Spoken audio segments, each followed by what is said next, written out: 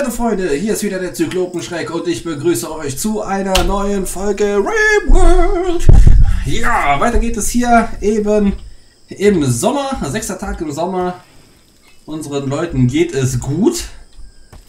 Bishop erholt sich auch langsam von seinen Verletzungen und wir können bald von einem neuen Kühlhaus profitieren. Wenn die ganzen das jetzt hier endlich äh, fertig gebaut kriegen. Hier wird auf jeden Fall fleißig gehämmert und gehackt. Wir können sie mal dazu bringen, das hier zu priorisieren, damit wir da dann die Kalksteinwand hinsetzen können.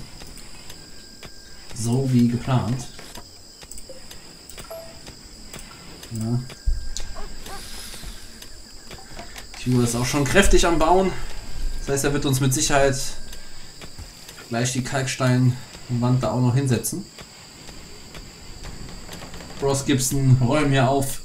Das ist doch mal richtig Teamwork, wie es im Buche steht. So, wurde jetzt mal da die Solaranlagen, auch keine schlechte Idee.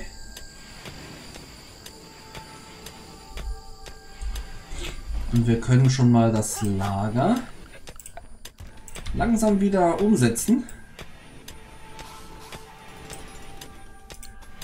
Das heißt, wieder wie hier einmal die Einstellung kopieren, hier die Einstellung einfügen und jetzt mit ausgewählter Lagerzone das Ganze hier immer erweitern.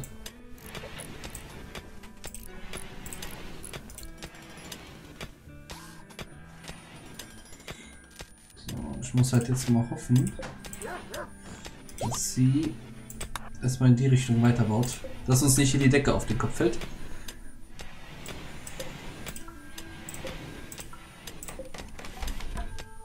Bis dann hier unten Tio alles fetch gebaut hat.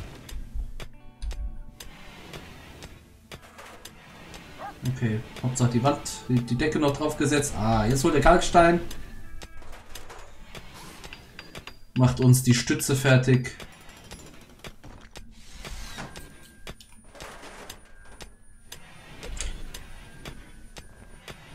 Und wenn sie jetzt hier oben die Ecke aufmacht, können wir dann da... Na komm, mach das als erstes. Genau, dann können wir da auch anfangen. Die zweite... Das zweite Kühling aufzubauen und reinzustellen. So wie dann auch hier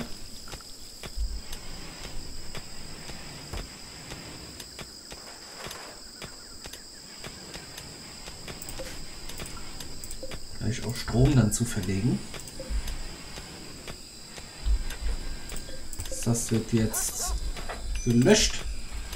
Wenig Medizin, wenig Nahrung, ja, weil es halt eben nicht im Lager ist. Das wird dann jetzt verschoben.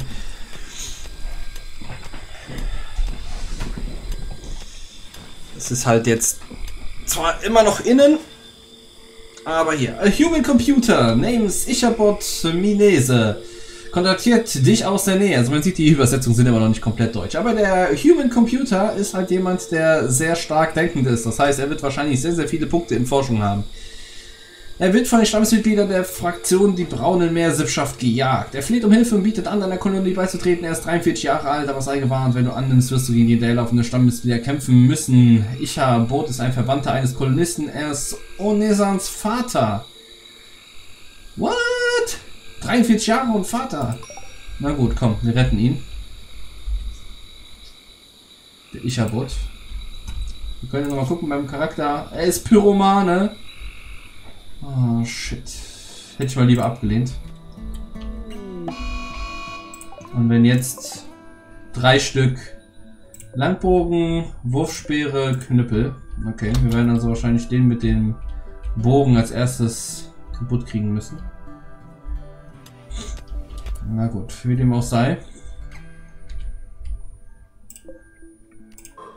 Das eine werden wir auch abbauen. Wir werden sie hier postieren. Wir brauchen... Eigentlich werden wir wahrscheinlich alle brauchen. Wo ist Tiur. Tiur baut hier ab. Wir werden dich hier oben brauchen, mein Freund. Komm ran. Lass Miranda, wenn sie will, ja. Dann haben wir hier noch den Gibson mit seinem kleinen Stochermesser. Den werden wir auch benutzen. In der Hinterhand. Und Ross. Naja, Ross. Wobei, wir können dem Ichabod bestimmt auch eine Waffe geben. Wir müssen nur gucken, welche von denen besser ist. Nahkampfschaden 8, 2,16. Nahkampfschaden 4. Also ist der Holzknüppel stärker. Also kann er sich schon mal mit dem Holzknüppel ausrüsten. Um dann eventuell mitkämpfen zu können. Wir haben ja schließlich ihn verfolgt. Oh.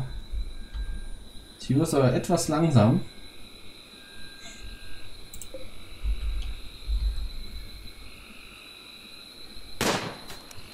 Oh. Komm, komm, komm, komm, komm, mein Freund. Beweg dich darüber. Gibson. Stellt euch mal hier dahinter. Äh, nicht davor. Okay, den haben sie umgebracht. Jetzt wird hier weiter geschossen. Während Gibson und Ichabod sich wieder zurücksetzen. Kann sein, dass wir den sogar tot haben, bevor er sich in die Deckung setzt.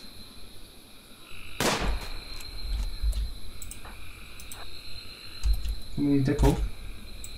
Und ihr zwei geht am besten mal rein. Wir brauchen euch nicht mehr. Das sind jetzt ja nur noch Fankämpfer.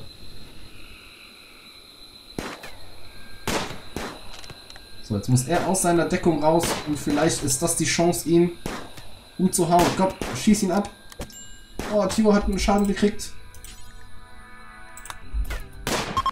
Jawohl. Wir fliehen. Schieß ihn ab. Okay, er ist weg. Okay. Die sind alle vernichtet. Er hat seine Wurfspeere da gelassen. Die nehmen wir auf jeden Fall mit. Und für die zwei müssen wir dann auch wieder Gräber aus, ausholen. Wir gucken mal, wie es bei ihm aussieht. Er blutet auf jeden Fall. Schmerzenmittel. Vielleicht verletzt er sich noch und bleibt dann liegen. Dann können wir ihn immer noch gefangen nehmen. Aber darauf würde ich mich jetzt erstmal nicht verlassen. Wir bauen da auf jeden Fall nochmal ein, zwei Gräber hin für die anderen beiden. Botte müsste ja eigentlich fit sein, ja. Kannst du eigentlich äh, irgendeine Waffe nehmen? Fernkampf. Nein, nimm doch mal hier diese komischen mit schweren Ausrüsten. So, er geht spazieren, er hat keine Kleidung. Wir schauen mal, was die gerade haben. Teufelsgang Parker. Er hat hier nichts, dann soll er mal den hier ausziehen und den Parker anziehen.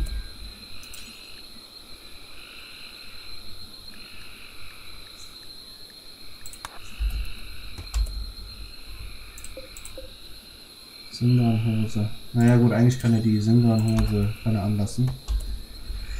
Und kann dann hier die Gräber... Ach, ist kein Bauchhand weg. Das heißt, er kriegt dann hier dieses Zimmer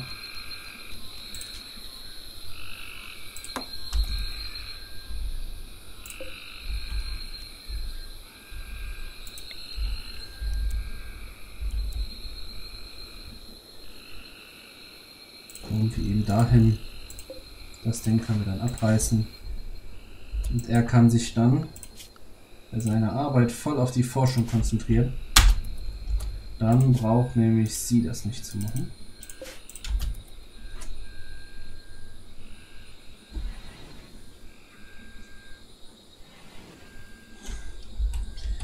Mal gucken, ob wir den Pyroman irgendwie in den Griff kriegen.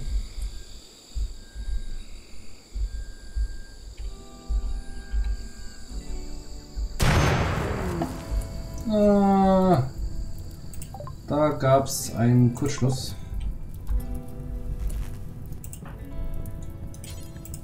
Feuer löschen. Feuer löschen, auf, auf. Ganz wichtig. Danach könnt ihr euch wieder hinlegen, genau. Bitter. Aber das kann nämlich häufiger passieren, deswegen umso wichtiger, dass ihr alles ein bisschen verteilt. Bleibt halt eben kurz dunkel. So, und den Bischof, den können wir jetzt versuchen anzuwerben. Nur hier, Onesan ist 43 Jahre alt und Ichabod mit 43 ist der Vater. Okay. Okay, okay, ich weiß, wie das funktioniert. Deine Mutter ist dein Vater. Deine Mutter ist dein Vater. Inzucht der allerfeinsten Sorte.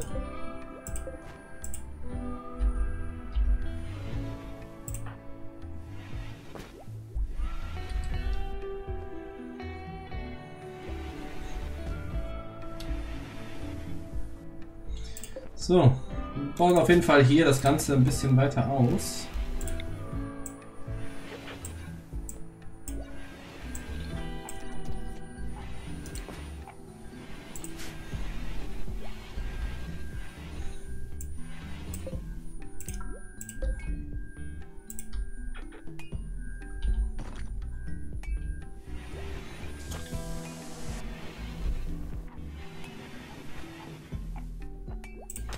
Wie sieht es bei ihm aus? Oh, er blutet immer noch von dem Stich.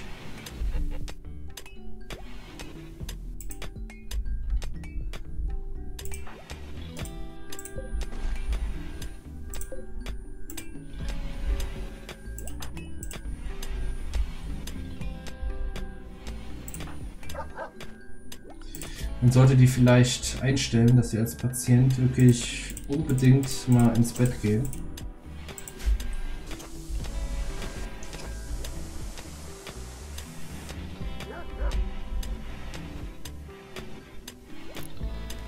Blutet mir hier alles voll.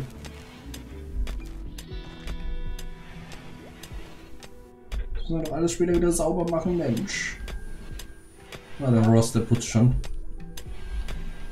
Ross mag kein Blut.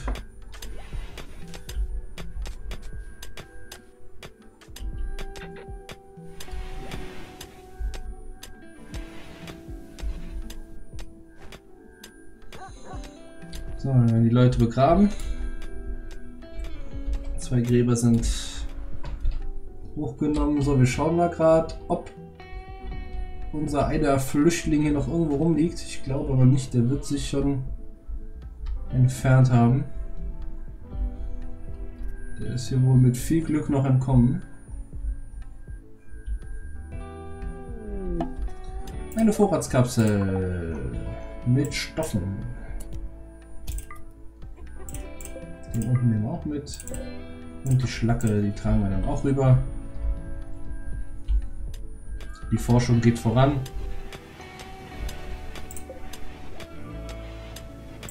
Fehlt nur ein bisschen Holz. Müssen wir also wieder ein paar Bäume fällen. Über die Befehle. Machen wir es vielleicht hier oben.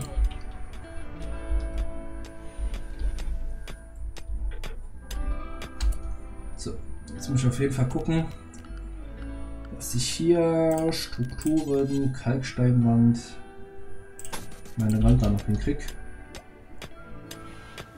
Jetzt haben wir da gleich ein Problem.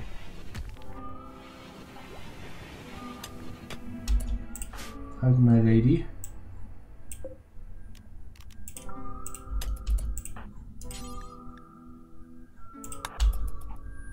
Und wo sie das mal gerade hinbauen bevor es einstürzt.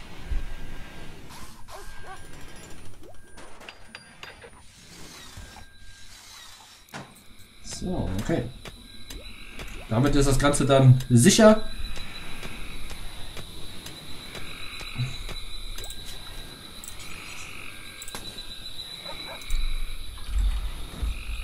Jetzt gehen alle schlafen. Der Bischof, weiß nicht, wer sich da um ihn kümmert. Aufsehen, naja gut, dann macht irgendwie keiner. Ich muss Onesan machen. ihm dann zumindest das Angebot geben, bei uns zu bleiben. Der Cole bleibt weiterhin gefangen, bis wir die Möglichkeit haben, ihn zu verkaufen. Und für ihn dann ein bisschen Silber abzugreifen.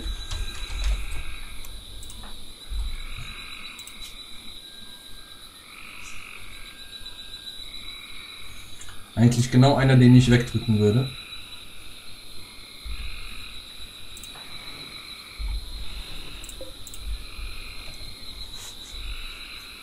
Hier ist aber auch einfach so dreckig. Die müssten immer wirklich putzen, die Leute.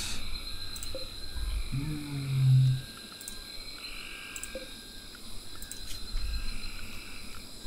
Zone Gebiet. Die Lagerzone nochmal auffüllen.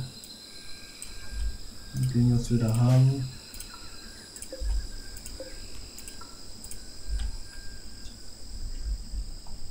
Und dann gucken wir mal, ob wir die vielleicht schon fertig kriegen. Das ist ja nicht mehr so viel, was da gebaut werden muss.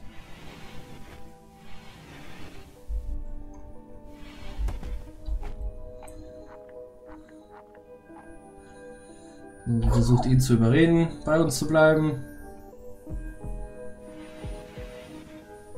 1,1% Chance.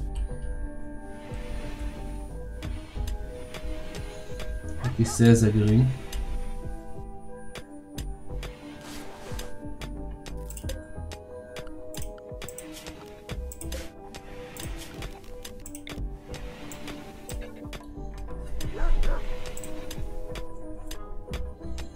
Hm. Ja, sie hat es halt zum Essen wenigstens nicht ganz so weit hin. Schildkröte frisst einfach die Beeren weg. Okay, da haben wir dann die Möglichkeit auch wieder Kalksteinwände hinzusetzen zum Halten der Struktur. Ein verrücktes Tier. Ein Capybara. Achso,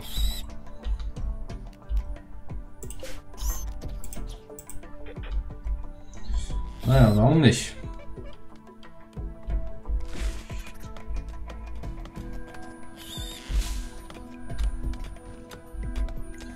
Das Vieh kann man dann bei Bedarf jagen gehen.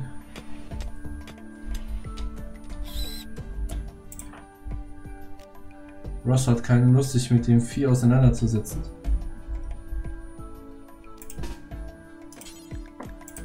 Na komm, wenn du zuerst angreifst, hast du vielleicht mehr Chancen.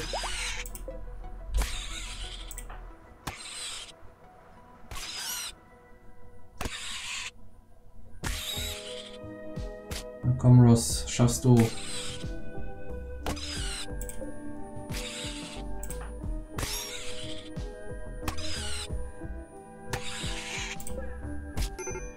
Oh, Ross.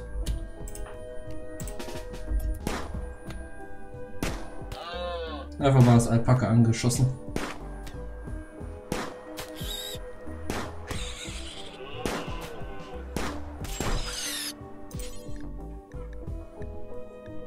Das ist tot. Das heißt, du kannst weg und kannst jetzt erstmal Ross retten. Eieieiei.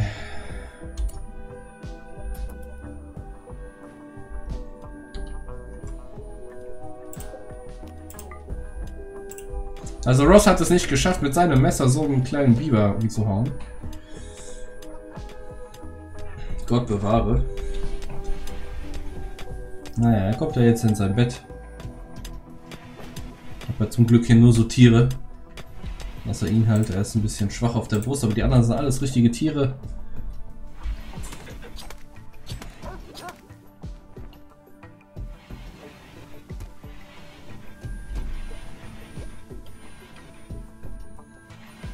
Drei Komma zwei Prozent Chance.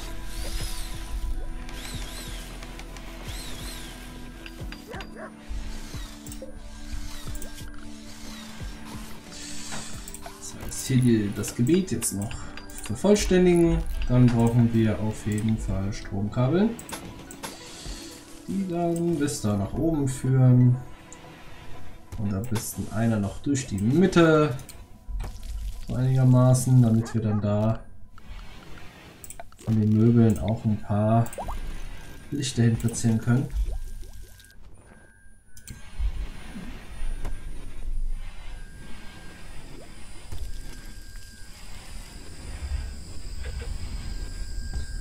Und man sieht schon, hier drin wird es auf jeden Fall kühler. Wenn jetzt hier oben das Ding noch läuft, und das stellen wir auch auf minus 19, dann funktioniert das.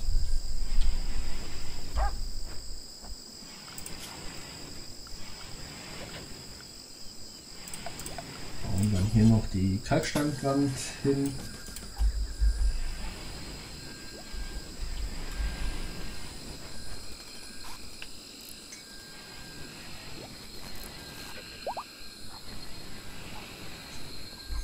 Hugh hat sich vollständig erholt. Der Ross, der braucht wahrscheinlich noch ein bisschen. Wo ist er denn eigentlich? Ross?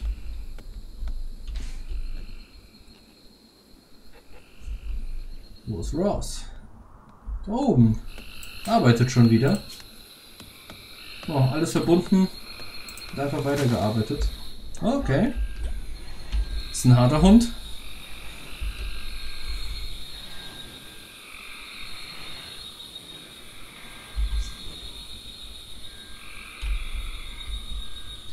Ich brauche definitiv wieder Fleisch. Wir müssen Tiere töten.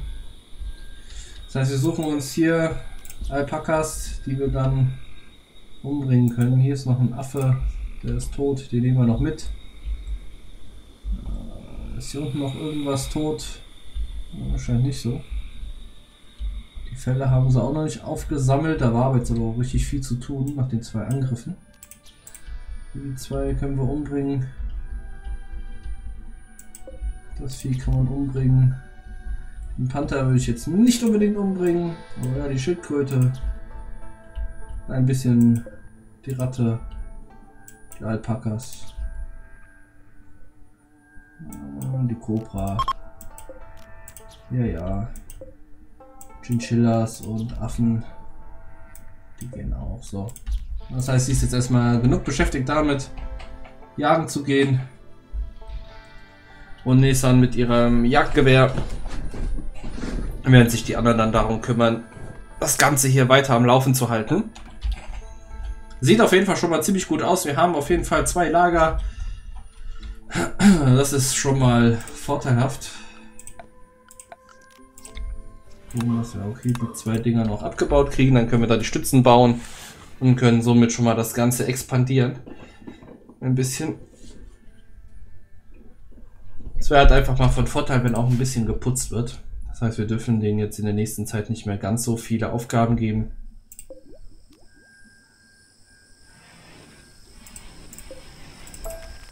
So, das bauen wir ab. Da steht ja schon das Neue.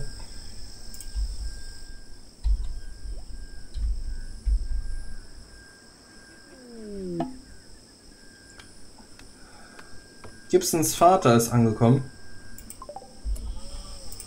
Y. 35. Wie geht das? Gibson ist ein Jahr älter als sein Vater. ei, ei, ei. Also ich habe schon mit einem 60-Jährigen gerechnet, aber nicht mit, äh, mit so einem jungen Vater. Naja, egal. Wir werden ihm auf jeden Fall eine Unterkunft bieten. Das heißt, wir bauen ratzfatz hier ein Bett hin. Irgendwo aus Holz, das wir nicht haben. Naja. Er wird hier nicht sonderlich viel Ruhe haben. Aber ein bisschen. Sie beschafft jetzt das Holz. Äffchen wird gerade umgebracht vom Panther. Auch okay. Schildkröte schläft im Kalten. Kann man mal so machen. Und das wird dann jetzt ein, ne, ein Krankenbett. Nicht für Gefangene, nur ein Krankenbett. Und ist einer draußen? Der Gibson. Geht die Kreatur schlachten. Okay, dann Onesan, du bist ja eigentlich die Jägerin. Dann gehst du ihn jetzt retten. Einmal quer über die ganze Karte. Die Schlacke, die nehmen wir dann auch noch mit. Was hat er denn hier alles? Bruch, Stich, Schnitt, Bruch. Na gut, wobei hauptsächlich die, die Stiche und Schnitte gefährlich sind. Tod in 14 Stunden, bis dahin haben wir den auf jeden Fall gerettet und versorgt.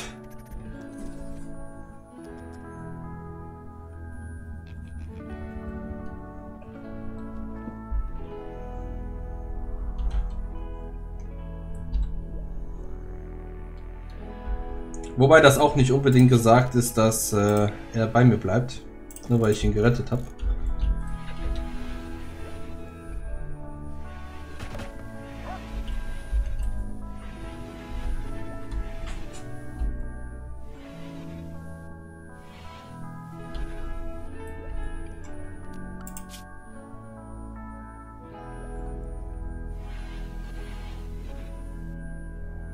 So, erforscht er fleißig.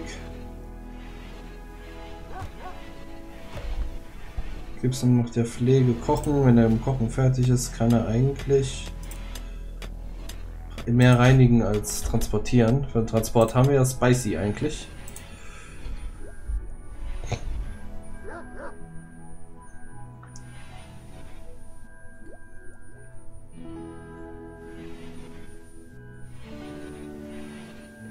5%ige Chance. Wird also Zeit, dass ich dann doch weiterbaue. Gibson kümmert sich um seinen Vater. Auf einer Party. Luxuriös gemütlich. Schlechtes äh, Krankenhaus. Bisschen hungrig, ohnmächtig vor Schmerz. Hm. Er verhungert. Warum verhungert er?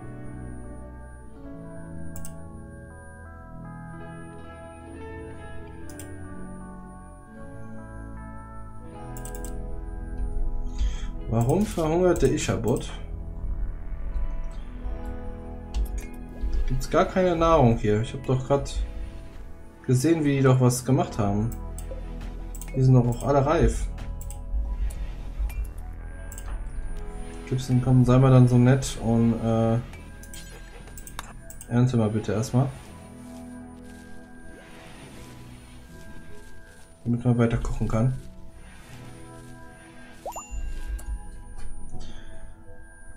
Epsilon schließt sich meiner Gruppe an. Das ist auch ein Computer. Wir gucken hier nochmal schnell durch. Aufforschung. Lahme Ente, Rauschmischelinteresse, neurotisch. Okay, das ist nicht schlimm. Das ist eigentlich gar nicht schlimm. Das ist wirklich gut. Tiere, Nahkampf, leichtes Interesse. Sonst kann er gar nichts. Ach du Scheiße. Habe ich nicht gesagt. Aber der kann halt einfach mal gar nichts. Der Mann der ist als Jäger eingestellt. Also ich glaube nicht, dass du jagen gehen kannst, mein Freund. Das glaube ich mal weniger. Bot hat ja auch nur eine Nahkampfwaffe. Also sind glaube ich meine zwei, die Fernkampfwaffen haben. Der Epsilon. Tierpfleger, ja, darum kannst du dich kümmern. Dann muss das Ross weniger machen. Das passt. Weil dann kann er sich da ja komplett raushalten. Denn der Ross soll ja vermehrt Feldarbeit machen, eigentlich. Mit Tio zusammen. Aber Tio muss zu viel machen. Dann würde ihn da ein bisschen unterstützen. Tierpflege. Muss er nicht auch noch machen. Der Ishabot, der ist ja pur fürs pur fürs äh, Forschen zuständig.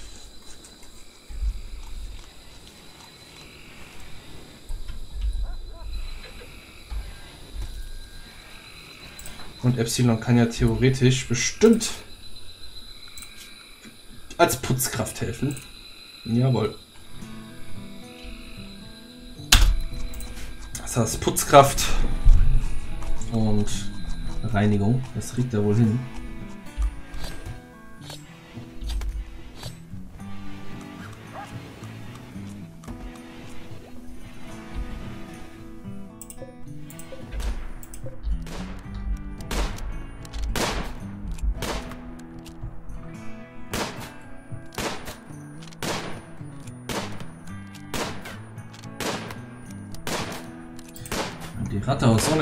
Zu erschießen.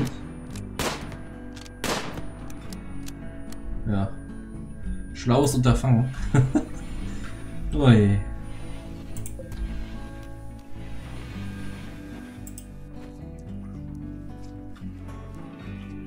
Y macht schon mal ein bisschen sauber. Gucken wir, dass wir hier weiter runterbuddeln, um die Häuser hier fertig zu kriegen.